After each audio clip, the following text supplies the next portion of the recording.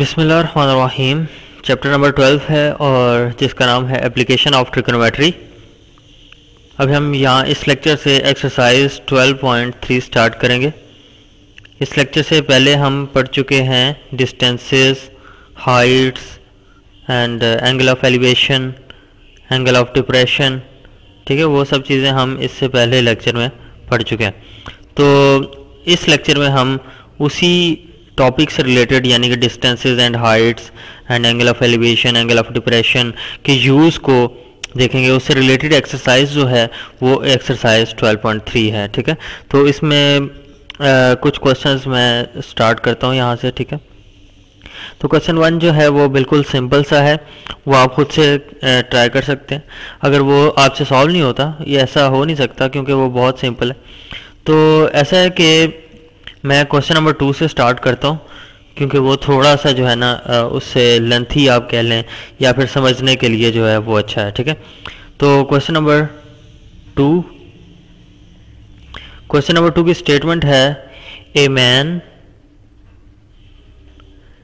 18 decimetre tall ठीक है, सबसे पहले हमें क्वेश्चन की स्टेटमेंट को समझना है।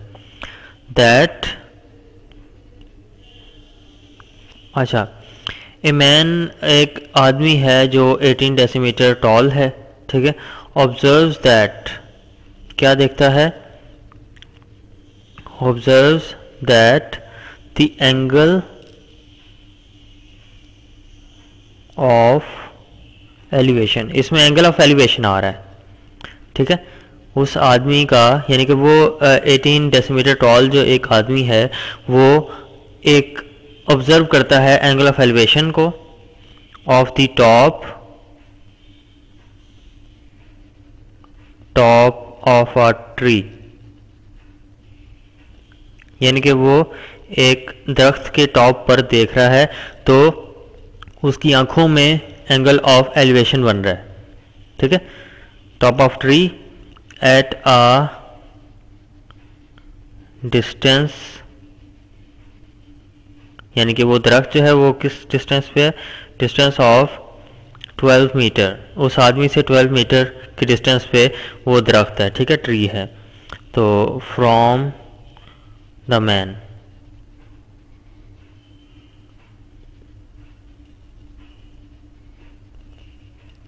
अच्छा आ, कितने ट्वेल्व मीटर का डिस्टेंस है?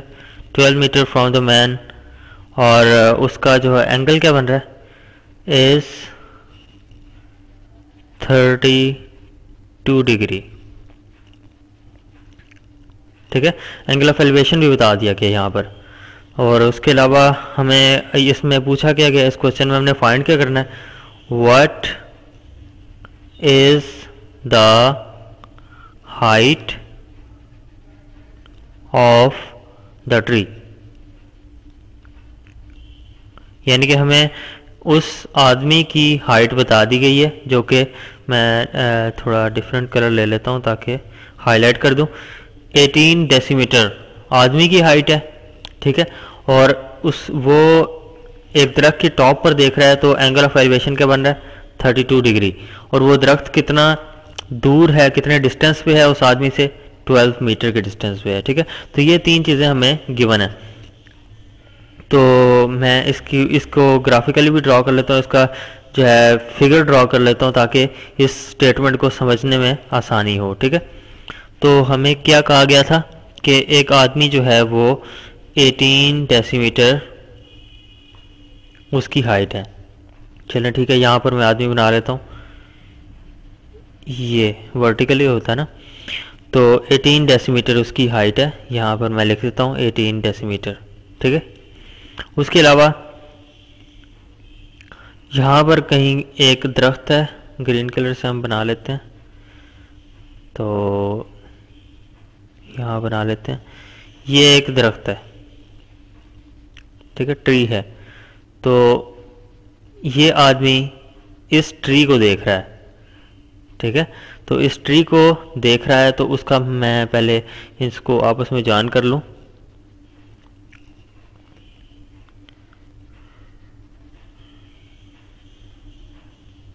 इस तरह से कह लें, या थोड़ा सा मैं स्ट्रेट कर लेता हूँ इसको।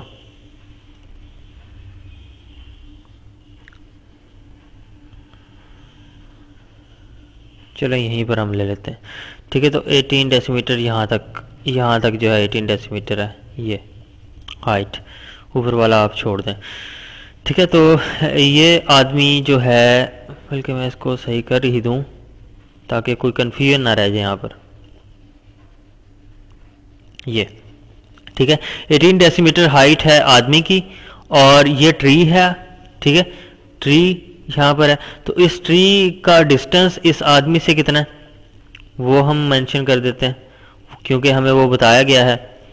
वो डिस्टेंस है 12 मीटर ठीक है? तो यहाँ से यहाँ का डिस्टेंस कितना है? ये 12 मीटर है। ठीक है? और ये जो है, इसको देख रहा है। इस ट्री को तो एंगल ऑफ़ एलिवेशन बन रहा है। यानी कि हॉर्जोंटल लाइन से बनता है ना तो पहले हॉर्जोंटल लाइन बना लेते हैं। ये हॉर्जोंटल लाइन होगी, ठीक है? तो हॉर्जोंटल लाइन से जो उसका एंगल ऑफ़ एलिवेशन है, ये बनता है। वो हमें गिवन है 32 डिग्री 32 डिग्री उसके अलावा आप ये देखें तो ये बिल्कुल इक्वल हैं डिस्टेंसेस ठीक है? यहाँ से आदमी से आप डिस्टेंस ले लें ट्री तक तो वो भी 12 मीटर है। यहाँ से ले लें तो ये भी 12 मीटर है। तो यहाँ पे मैं 12 मीटर यहाँ पर लिख देता हूँ, ठीक है?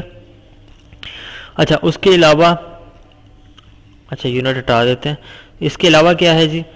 कि हाइट तो होगी आदमी की ये 18 ठीक है? उसके अलावा डिस्टेंस हमने मेंशन कर दिया 12 उसके अलावा एंगल ऑफ़ एलिवेशन भी हमने मेंशन कर दिया 32 डिग्री अच्छा अगर ये हाइट जो है ये ट्री की हाइट अगर मैं लेता हूँ कि ये एच है ठीक है? यहाँ से लेकर यहाँ तक ये पूरी पूरे ट्री की हाइट जो है वो एच है तो ये आ, कितनी बनेगी? यहाँ से लेकर यहाँ तक कितनी हाइट बनेगी? ये हाइट बनेगी एच माइनस एटीन क्योंकि ये एटीन है तो ये भी एटीन है यहाँ से लेकर यहाँ तक ठीक है?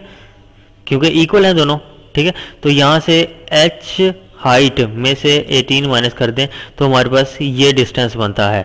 बाकी के ट्री का, यानी कि आदमी से ऊपर ऊपर जो ट्री की हाइट बनती है, वो h माइनस एटीन ठीक है तो ये हमारे पास एक ट्राइंगल बन गई है। राइट ट्राइंगल बन गई है। ठीक है, ये 90 डिग्री का एंगल है और ये 32 डिग्री का एंगल है। ये 12 है डिस्टेंस और ये h माइनस एटीन है। ठीक है तो ये हमारे पास एक ट्राइंगल आ चुकी है। अब हमने फाइंड क्या करनी है? हाइट फाइंड करनी है। हाइट ऑफ़ ट्री फाइंड करना है। तो वो हम किस तरह से फाइंड करते हैं? सबसे पहले हम ये फाइंड कर लेंगे डिस्टेंस ठीक है? उसमें हम 18 ऐड कर देंगे तो हमारे पास हाइट ऑफ़ ट्री आ जाएगा। अच्छा तो हम ये किस तरह से फाइंड करेंगे? ये हम इस तरह से फाइंड कर सकते हैं। अगर टेंजेंट इस एंगल के मुताबिक हम टेंजेंट अप्लाई करें टेंजेंट ऑफ़ 32 डिग्री तो फिर हमारे पास आसानी से यह आ जाता है। Tangent of 32 degree is equal to perpendicular over क्या होता है? बेस होता है। परपेंडिकुलर ओवर बेस और इसमें परपेंडिकुलर क्या चीज़ है? परपेंडिकुलर आप देखें एच माइनस एटीन है। एच माइनस एटीन उसकी वैल्यूज़ मैं वोट कर रहा हूँ। और बेस की वैल्यू है ट्वेल्व तो हमारे पास tangent of 32 degree is equal to H minus eighteen divided by twelve आ चुका है, ठीक है? तो उसके बाद अब हम इसको सॉल्व कर लेते हैं। इनकी वैल्यूज़ फाइंड कर लेते हैं। टेंजेंट ऑफ़ 32 डिग्री इक्वल होता है 0.624 के। या फिर अगर कंप्लीट में लिख रहे हैं 0.6284248 आप कैलकुलेटर से कैलकुलेट कर सकते हैं इसको, ठीक है? 248 is equal to H minus eighteen H की वैल्यू तो अभी तक हमें पता नहीं है, इसलिए हम इसको एच माइनस एटीन रहने देते हैं। और डिवाइडेड बाय 12 है, ठीक है? और मज़ीद इसको सिंप्लीफाई करते हैं क्रॉस मल्टीप्लिकेशन आप कह लें कि 12 into zero point six two four eight is equal to H minus eighteen और हमारे पास ये रिज़ल्ट जो है तकरीबन बन जाएगा seven point nine four nine eight seven point four nine eight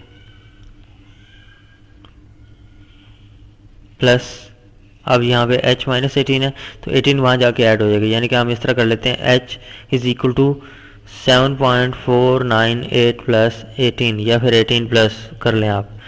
ठीक है तो हमारे पास जो है अच्छा एक और चीज़ हमने माइंड में रखनी है कि ये डेसीमीटर में और ये मीटर में है। ठीक है? तो इस डेसीमीटर को भी हम मीटर में कन्वर्ट कर लेते हैं। ये डेसीमीटर में है, ठीक है? तो इसको हम मीटर में कन्वर्ट कर लेते हैं। तो ये बन जाएगा seven point four nine eight ये तो पहले से है मीटर में। प्लस एटीन को हम अगर डेसीमीटर में कन्वर्ट करेंगे, यानी कि 18 डेसीमीटर को हम मीटर में कन्वर्ट करेंगे तो ये बन जाएगा 1.8 मीटर 10 से डिवाइड कर दें तो हमारे पास ये 1.8 मीटर बन जाता है, ठीक है? तो height h is equal to result बनता है 9.3 मीटर के। ठीक है? एच किसके इक्वल है? Height of tree height of tree जो हमने फाइंड करना था, ठीक है? इस क्वेश्चन में हमें जो फाइंड करने के लिए कहा गया था, वो हम फाइंड कर चुके हैं, जो कि इक्वल आई है 9.3 मीटर के। मतलब कि ये हाइट हमने फाइंड करनी थी, ये 9.3 मीटर के। इक्वल आ चुकी है। तो यहाँ पर ये क्वेश्चन पहले हमने इसकी स्टेटमेंट समझी, उसको ग्राफिकली देखा फिगर उसकी बना के देखी कि उसकी फिगर से हमने समझा, ठीक है? उसके बाद हमने उसको जो है एप्लीकेशन इसको कह लें। हमने ट्रिग्नोमेट्री को यूज़ किया और हमने इसको सॉल्व कर लिया, ठीक है? इस तरह से ये देखा जा सकता है कि ट्रिग्नोमेट्री बहुत यूज़फुल है इन चीज़ों के लिए, ठीक है? हाइट्स डिस्टेंसेस जो पिछले यानी कि लेक्चर में हमने टॉपिक डिस्कस किए थे तो वो टॉपिक्स हम कवर कर रहे हैं इस एक्सरसाइज में, ठीक है? हाइट्स फाइंड करना डिस्टेंसेस फाइंड करना। अगर इसमें डिस्टेंस हमें ना दिया होता हाइट दी होती, तब भी हम डिस्टेंस फाइंड कर सकते थे, ठीक है? तो इस तरह से डिफरेंट सिनारियोज इस क्वेश्चन में आ रहे हैं आगे। तो हम उनको भी सॉल्व करते हैं। क्वेश्चन नंबर जो है, ये था टू अब हम क्वेश्चन नंबर थ्री पर आते हैं। क्वेश्चन नंबर थ्री भी थोड़ा सा डिफरेंट है तो हम उसको सॉल्व करते हैं। पहले तो मैं उसकी स्टेटमेंट लिखूँगा क्वेश्चन नंबर थ्री की। स्टेटमेंट है at the top of cliff यानी कि एक क्लिफ है, उसकी टॉप पर अगर है मौजूद तो क्लिफ की हाइट भी साथ में हमें दी हुई है 80 मीटर हाई 80 मीटर हाई ठीक है? उसके अलावा the angle of depression the angle of depression इसमें एंगल ऑफ़ डिप्रेशन आ गया। पिछले क्वेश्चन में एंगल ऑफ़ एलिवेशन था। तो angle of depression of a boat of a boat is 12 degree ठीक है? एंगल ऑफ़ डिप्रेशन हमें क्या गिवन है? 12 डिग्री और हमें इस क्वेश्चन में पूछा क्या गया? यानी कि फाइंड क्या करने को कहा गया? तो हमें कहा है how far is the boat from the cliff ठीक है? तो ये क्वेश्चन है हमारा।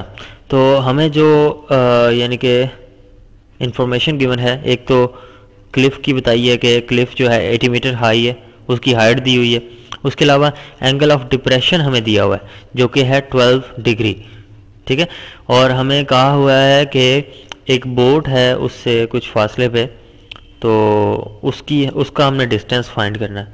तो ये भी हम बना लेते हैं, इसको, इसकी फिगर बना लेते हैं। ताकि हम इसको आसानी से समझ सकें और फिर इसको इसके सोल्यूशन की तरफ़ आते हैं ठीक है? तो ये है हमारे पास एक क्लिफ इस तरह से ये हाइट होगी ठीक है? इसकी आ, हाइट हमें गिवन है 80 मीटर तो ये 80 मीटर होगी। उसके अलावा एक बोट है। एक बोट हम बना लेते हैं। यहाँ पर मैं इस तरह से एक बोट बना लेता हूँ। ये।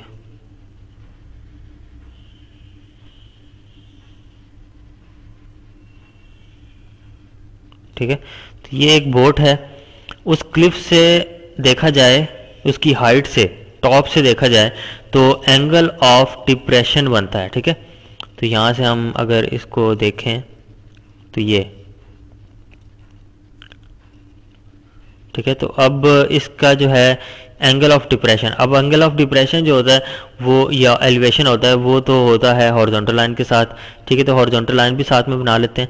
तो ये ये अपन गई हॉर्जोंटल लाइन तो ये एंगल हमें दिया हुआ है. ठीक है? तो ये एंगल हमें एंगल ऑफ़ डिप्रेशन दिया हुआ है ट्वेल्व डिग्री का. तो ये मैंने ट्वेल्व डिग्री लिख दिया यहाँ पर. ठीक है? उसके अलावा आप देखें तो ट्राइंगल आप अगर बनाना चाहें तो ट्राइंगल किस तरह से बनाएँगे? इसको ज्वाइन कर दें। इनको आपस में ज्वाइन कर दें। तो ये हमारे पास एक ट्राइंगल बन जाती है, ठीक है? अब देखें, यहाँ पर एंगल तो हमें ये दिया हुआ है। हमें तो चाहिए ट्रायंगल के अंदर कोई एंगल ताकि हम जो है, हमारे पास कोई ना कोई तीन एलिमेंट्स हों। यानी कि दो एलिमेंट्स तो चले हैं। एक हाइट दी हुई है, ठीक है परपेंडिकुलर आप इसे कह लें, और एक एंगल दिया हुआ है 90 डिग्री का। ये तो ओबियस ही, बात है, क्योंकि राइट ट्राइंगल है, इस वजह से हम इसे कहेंगे, ये 90 डिग्री एंगल है। एक एंगल और एक हाइट यानी कि लेंथ हमें दी हुई है। तो अब यहाँ पर हमें एक और एंगल या एक और साइड हमें गिवन होनी चाहिए, ताकि हम इसको सॉल्व आउट कर सकें, ठीक है? यानी कि हमने डिस्टेंस तो हमने ये फाइंड करना है। इस डिस्टेंस को आप कह सकते हैं कि ये एक्स डिस्टेंस है, ठीक है? तो यहाँ से ये एक्स डिस्टेंस है ये। लेकिन हमें कोई ना कोई एंगल या फिर डिस्टेंस और गिवन होना चाहिए ताकि हम इस एक्स को फाइंड कर सकें। तो आप थोड़ा सा गौर करें तो ये एंगल और ये एंगल आपस में इक्वल होंगे। ठीक है? ये एंगल और ये एंगल आपस में इक्वल होंगे 12 डिग्री ये आप थ्योरम्स में पढ़ चुके हैं, ठीक है? नाइन टेंथ के थ्योरम्स में पढ़ चुके हैं। अगर आपको कन्फ्यूज़न है इसमें तो ये मैं आपको प्रूव भी कर देता हूँ। अगर मैं इसको कंप्लीट करूँ, इस एंगल को तो ये 90 डिग्री बनता है, ठीक है? ये 90 डिग्री बनता है ना तो 90 डिग्री में से 12 डिग्री अगर माइनस करो बल्कि हाँ 90 डिग्री में से 12 डिग्री माइनस कर दें तो बाकी कितने डिग्रीज बच जाते हैं? 88 डिग्रीज ठीक है? तो ये बन गया, अगर 88 डिग्री है तो आप, आपके पास ये एंगल आ चुका है। अभी आपके पास लेट्स सपोज़ ये एंगल नहीं है, ठीक है? ये एंगल नहीं है। तो हमने क्या किया कि इसको कंप्लीट किया क्योंकि ये हॉरिजॉन्टल है और ये वर्टिकल लाइन है। ये एंगल हमें गिवन था 12 डिग्री आप इसको कंप्लीट करें तो ये 90 डिग्री बनता है क्योंकि दोनों आपस में ये जो साइड्स हैं वो परपेंडिकुलर हैं, ठीक है? तो ये बनता है 90 डिग्रीज तो 90 डिग्रीज मैं को मैंने कंप्लीट किया 12 डिग्री प्लस एटी डिग्री होता है, वो 90 डिग्री बनता है, ठीक है? तो ये तो ऑब्वियस सी बात है, ये यानी कि इतनी मुश्किल चीज़ नहीं है। अब आप देखें, आगे आप इस एंगल 12 डिग्री को भूल जाएँ, ये ट्रायंगल में आ जाएँ। ये आपके पास ये जो ट्राइंगल बनी हुई है, ठीक है? तो अब इसके एंगल्स का सम इक्वल टू 180 होगा, ठीक है? तो आप यूँ भी चेक कर सकते हैं 90 प्लस 88 डिग्री प्लस अब क्या एंगल होगा ये? ये एंगल हमें पता नहीं है तो इसको हम कह देते हैं theta is equal to one eighty degree तो यहाँ से हम थीटा फाइंड कर लेते हैं। Theta is equal to one eighty degree minus ninety degree minus 88 degree. तो यहाँ से भी आपके पास क्या आएगा? 12 डिग्री। अगर आप इसको सॉल्व कर लेते हैं 180 में से माइनस करें 90 तो 90 आता है 90 में से 88 माइनस करें तो 12 डिग्रीज ही आपके पास आते हैं, यानी कि theta is equal to 12 degree. ठीक है? अगर आपको उससे भी समझ नहीं आती तो ये मैं आपको एक और प्रूफ कर दिया आपको हाँ वैसे कह सकते हैं कि मैंने आपको प्रूफ कर दिया कि ये एंगल जो है वो 12 डिग्री के इक्वल होगा। चलें, अब आपके पास ये 12 डिग्री एंगल आ चुका है। उसके अलावा आपके पास ये भी एंगल है 90 डिग्री ठीक है, ये साइड गिवन है, ठीक है तो उसके अलावा आप, ये एंगल भी आपके पास आ चुका है एटी डिग्रीज अब यहाँ से जो है ये डिस्टेंस फाइंड करना कोई मुश्किल काम नहीं रह गया.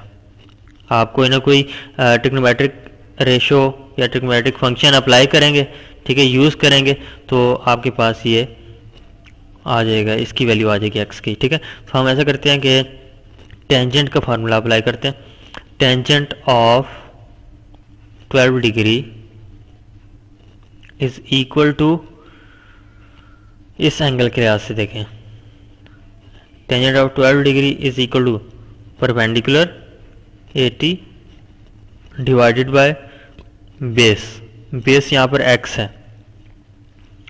ठीक है तो ये आ चुका है tangent of 12 degree is equal to eighty over X अब यहाँ से हमने एक्स की वैल्यू फाइंड करनी है तो सबसे पहले तो आप कैलकुलेट करें टेंजेंट ऑफ़ 12 डिग्री जो कि इक्वल होता है 0.21255 के is equal to eighty over X ठीक है?